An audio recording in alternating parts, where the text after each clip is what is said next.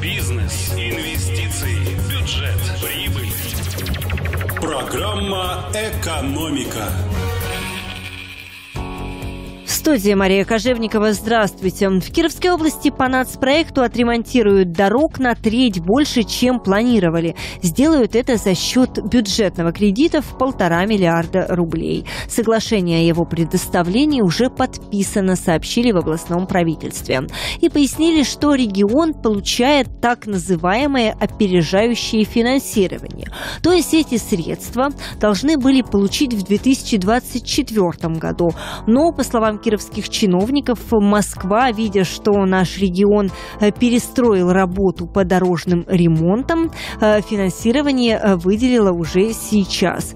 Планируется, что будет отремонтировано более 60 километров дорог. Всего в этом году отремонтируют 400 километров. Это на треть больше того, чем планировалось изначально. Больше всех глав врачей в Кирове получает руководитель областной больницы. Государственные медорганизации Кировской области опубликовали данные о доходах руководством. Топ-10 учреждений, где руководители получают наибольшую зарплату, опубликовал телеграм-канал «Грислис». Самая высокая заработная плата у руководителя Кировской областной клинической больницы – 254 тысячи рублей. На втором месте руководитель онкодиспансера. Его доход 205 тысяч в месяц. На третьем месте главврач Центра травматологии, ортопедии и нейрохирургии 193 тысячи рублей. Замыкают первую десятку главврачи больницы скорой медицинской помощи и Кировская клиническая офтальмологическая больница, но при этом их месячная зарплата отличается на 100 тысяч от зарплаты лидера рейтинга. В эфире «Экономика».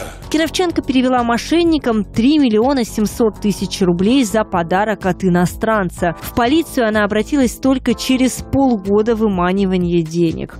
В октябре 37-летняя женщина в интернете познакомилась с сингапурцем, который живет в Турции.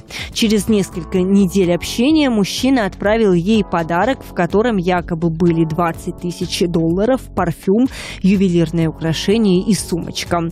Вскоре после отправки посылки на электронную почту женщине пришло сообщение с требованием заплатить госпошлину 60 тысяч рублей, затем 123 тысячи за таможню. Позднее 306 тысяч для того, чтобы узаконить денежные средства, поступившие в Россию.